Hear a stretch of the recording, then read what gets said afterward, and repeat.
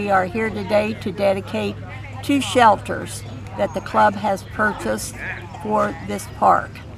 Uh, we had been saving money to, to do some work for kids, and as the club had uh, folded recently, we decided to use the money to build the two shelters.